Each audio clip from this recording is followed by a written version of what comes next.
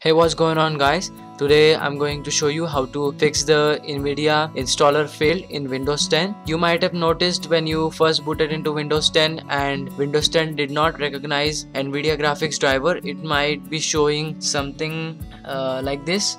Your uh, instead of this Nvidia GeForce it would be showing Intel 4600 graphics or your AMD graphics if, if you have AMD so to fix this uh, what I did is I uninstalled all these drivers uh, NVIDIA 3D Vision Controller, 3D Vision Driver etc.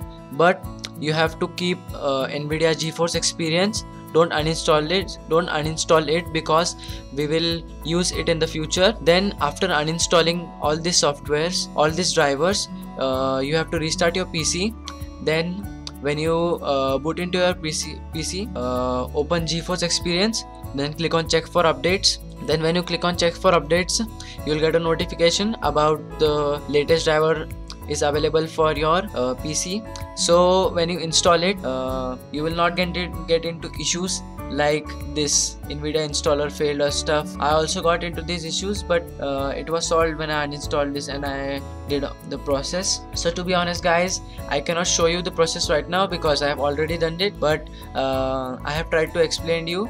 So if this process works you can comment below.